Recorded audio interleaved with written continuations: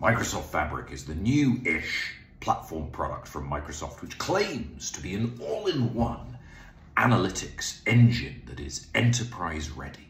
And it's kind of a game changer for data engineering as a whole because the watchword is unification. Microsoft is seeking to unify the process of doing all the different touch points of data engineering, analytics, and MI into one place. A short is far too short to go into all the components of Fabric because they are massive, okay? The thing that they're trying to achieve is they are trying to take the entire cloud ingestion data process and put it in one place. But broadly, you've got three bits. You have ingestion, OneLake, and Power BI.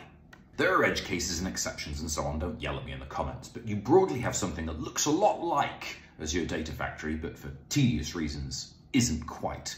And then you take that into a central storage area, whether that be some kind of Delta Lake or a data lake or just something on top of ADLS Gen 2, and then throw that out into data engineering and analytics.